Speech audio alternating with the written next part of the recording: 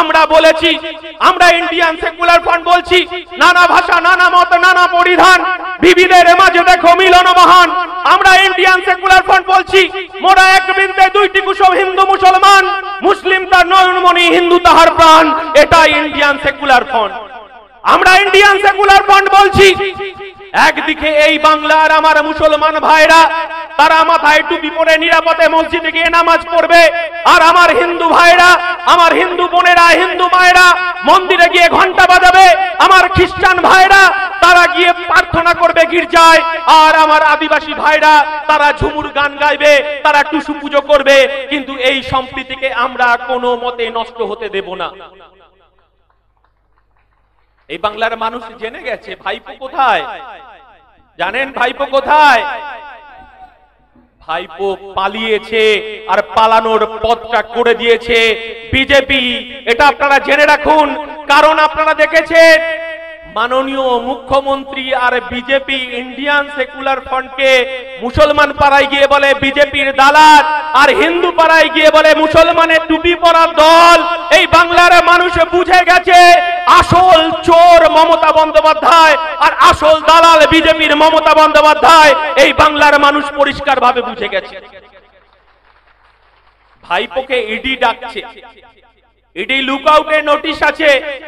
তারপরেও কীভাবে অভিবাসন দপ্তর, স্বরাষ্ট্র দপ্তরকে কীভাবে চোখে ধুলো দিয়ে ভাইপো বিদেশ চলে গেল নরেন্দ্র মোদী জানেন না, অমিত শাহ জানেন না, আর আমার বাংলার বিধায়ক, এই বাংলার বাঘ যাকে বলি, যাকে প্রতিনিয়ত তৃণমূল কংগ্রেস মেরে ফেলার চক্রান্ত করছে, এই বাংলার একমাত্র বিধায়ক নওসাদ সিদ্দিকী, যখন বাংলায় রক্ত নিয়ে হোলি খেলছে মমতা বন্দ্যোপাধ্যায়, পঞ্চায়েতকে প্রহসনে পরিণত করছে আমাদের কর্মীদের বাড়ি বাড়ি গিয়ে পুলিশ করা নাড়ছে। বলছে, তোমাকে তৃণমূলে জয়েন করতে হবে, নাহলে তোমাকে বাড়িতে বাস করতে দেব না। কিন্তু আমাদের চোখে ঘুম নেই নৌসাদ সিদ্দিকী সারা বাংলায় ঘুরে বেড়াচ্ছে।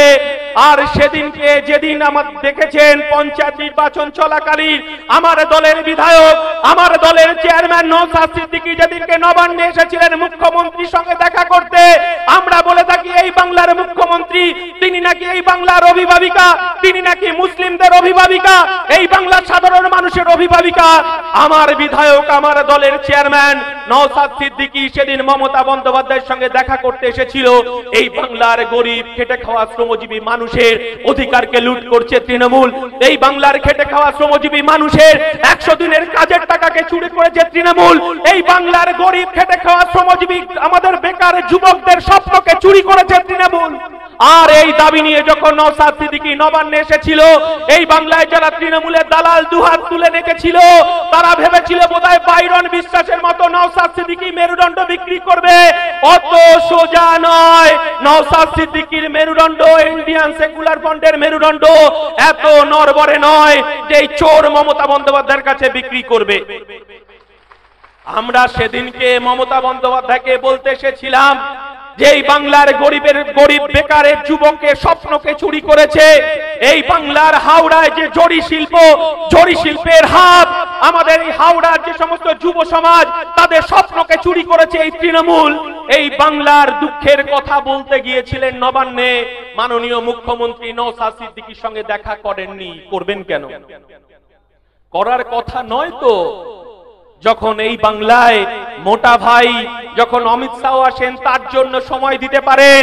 আর কেশিয়ারিতে আর এস এস এর মোহন ভাগবত যখন আসতে পারেন, তার জন্য ফুল, তার জন্য মালা, তার জন্য ফল, তার জন্য মিষ্টি পাঠাতে পারেন, তার জন্য শাল পাঠাতে পারেন।